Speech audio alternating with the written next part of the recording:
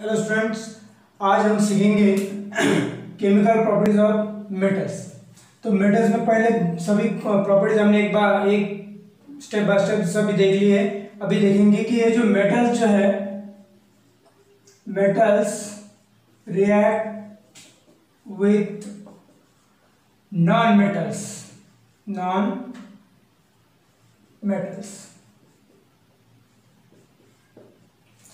तो metals react with non metals किस तरह से वो रिएक्शन होती है वो देखेंगे। नॉन मेटल्स में जैसे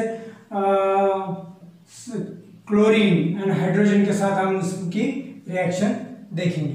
सबसे पहले हम क्लोरीन के साथ देखेंगे C L two and H two okay तो कोई भी मेटल्स अब यहाँ एग्ज़ाम्पल लेंगे, समझो सोडियम का एग्ज़ाम्पल लेते हैं। सोडियम अगर क्लोरीन के साथ रिएक्ट होगा तो वो क्लोराइड मेटल क्लोराइड सॉल्ट मतलब क्लोराइड में मेटल कौन सा आएगा? Sodium and N A C L इसको बैलेंस करेंगे तो ये हो जाएगा two N A C L two N तो ये सोडियम क्लोराइड एक आयनिक कंपाउंड ये फॉर्म करवाता है। अगर मेटल अगर नॉन मेटल के साथ अगर रिएक्ट होता है तो आयनिक कंपाउंड वो फॉर्म करता है।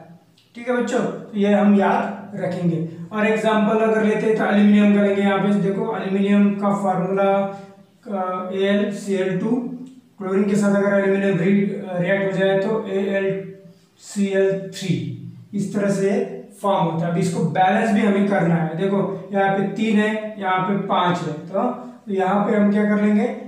Two A L C L three मतलब ये हो जाएगा सिक्स तो ये भी हो जाएँगे सिक्स लेकिन एल्यूमिनियम हो जाएँगे टू तो एल्यूमिनियम को भी टू इस तरह से ये अलग अलग मेटल लेके हम इसके क्लोराइड फॉर्म कर सकते हैं।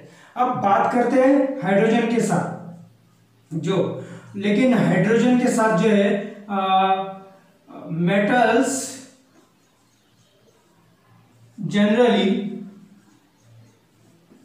do not react with hydrogen short में लिखता हूँ।